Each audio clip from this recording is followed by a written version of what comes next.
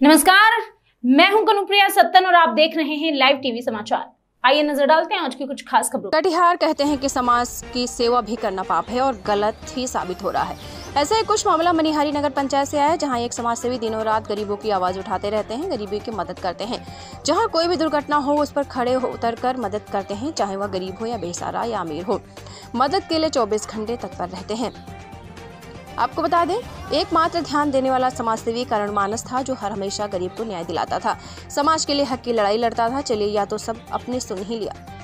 अब उनकी कुछ व्यक्तिगत ज़िंदगी पर आते हैं। वह मनिहारी के नगर पंचायत से चेयरमैन पद के उम्मीदवार थे। जब वह नामांकन के लिए मनिहारी अनुमंडल पहुँचे तो कुछ पदाधिकारियों ने और कुछ गंदी राजनीतिक तबके के लोगों ने उन पर झूठे मुकदमे कराकर एक साजिश के तहत उन्हें चुनाव में नामांकन करने से रोक लगा दी।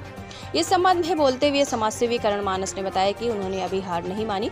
उन्होंने कहा कि मैं सुभाष चंद्र बोस जी के रास्ते पर चलने वाला इंसान हूँ, मैं हार नहीं मानता।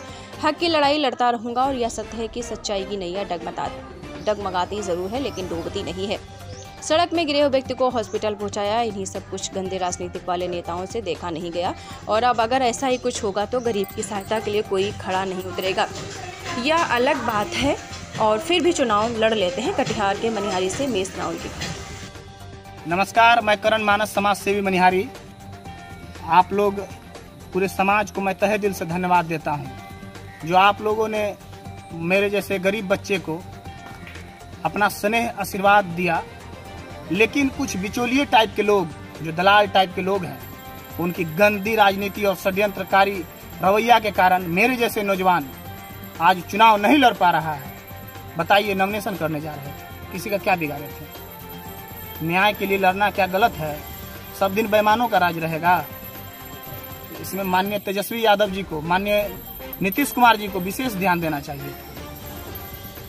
क्या एक युवा को, अगर आप कहते हैं कि मैं गरीब की सरकार हूँ तो क्या एक नौजवान युवा के साथ इतना बड़ा जुल्म होता है? मेरे ऊपर 2019 में केस हुआ, जब मैं बलात्कार के लिए प्रोटेस्ट किया उस समय। 2022 में घाट के मामला में जो है, मेरे ऊपर केस हुआ, जो हमने आवाज़ उठाया। न्यायिक बात बोला, उचित कि परिवार का मुआवजा मिलना चाहिए और सौ मिलना चाहिए। लेकिन हमको मालूम चला सातवां महीना में और आप बताइए नोटिस हमको सातवां महीना का दिया गया। और आठवां महीना में पंद्रह अगस्त के एक दिन पहले चौदह अगस्त को एक चौकीदार है राना उसके द्वारा जो है हमको नोटिस दिया गया। एकदम साजिश और षड्यंत्र के तहत पूरे एकदम सिस्टम बना करके कि मैं चुनाव से पहले जेल चला जाऊँ और नॉमिनेशन नहीं कर पाऊँ। विशेष रूप से मैं नॉमिनेशन नहीं कर पाऊँ।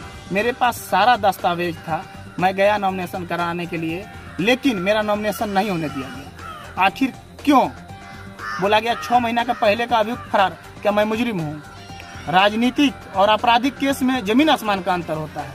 राजनीतिक केस वो होता है जो समाज के हक के लिए आवाज़ उठाया जाता है, और आपराधिक केस वो होता है जो किसी के साथ हम रंगदारी करते हैं, गोली चलाते हैं, ये गलत काम करते हैं, उसके लिए होता है। लेकिन एक युवा जो आपके समाज का बच्चा है, उसको इस प्रकार जुल्म क्यों किया जाएगा? क्या गरीब का हक नहीं है चुनाव लड़ने का? आप सोचिए कि एक युवा पूरे समाज में अपना एक अलग पहचान बनाया हुआ है। सोच रहे हैं कि सब दिन ये लोग कुछ दलाल टाइप के लोग सोच रहे हैं कि सब दिन उन्हीं का राज रहे। क्या किसी का बाप का जागीर है क्या? नगर पंचायत मनिहारी? आप लोग गलत राजनीति मत कीजिए। अरे, समाज का एक युवा है। आप हमें नहीं पसंद करते हैं। क्यों भाई? सब लोग हम ही पर लगा हुआ है। गल, अच्छा काम करना गलत काम है। किसी को दुख में मदद कर दिए। कोई डूब गया उसमें जाकर के मदद कर दिए। कोई बच्चा का एडमिशन नहीं हो रहा है वहाँ चले गए। किसी का शादी नहीं हो रहा है उसमें मदद कर दिए। किसी का